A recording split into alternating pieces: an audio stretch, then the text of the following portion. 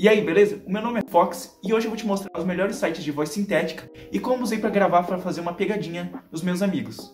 Você já quis criar um canal, mas tem vergonha de utilizar sua própria voz? Bem, pois saiba que existem vários sites que te permitem usar vozes natadas seus roteiros. Esses sites são muito utilizados em canais dark ou canais de curiosidade, onde você escreve uma frase, escolhe a voz e gera um áudio narrado. Os sites e programas são IBM, Google Cloud, Balaboca, Spikello e Falatron. Meu objetivo nesse vídeo vai ser te mostrar como dois desses sites funcionam e como usei ele para fazer uma pegadinha em meus amigos. O site que eu vou usar vai ser o Falatron e o IBM Cloud. Para começar, eu precisava pegar uma voz sintética que menos parecesse que estava lendo um texto narrado. Então eu escolhi a voz de um meme antigo na internet. Escrevi pequenas frases e gerei alguns áudios. Depois só tive que baixar todos e mandar para o computador. Como eu precisava de um áudio que parecesse que era uma pessoa falando, eu reproduzi o áudio na caixa de som e gravei no WhatsApp e mandei para meus amigos.